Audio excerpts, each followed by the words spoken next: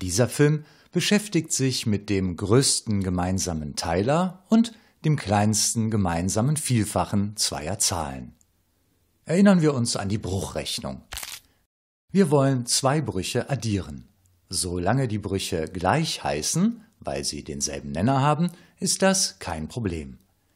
Wenn sie aber verschiedene Nenner haben, müssen wir sie so lange erweitern, bis sie, wie es mathematisch richtig heißt, gleichnamig sind.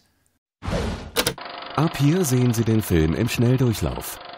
Im Original haben die neu und hochwertig produzierten Schulfilme eine Länge von drei bis zehn Minuten. Die wichtigsten Aspekte jedes Themas werden speziell für den Einsatz im modernen Schulunterricht anschaulich aufbereitet.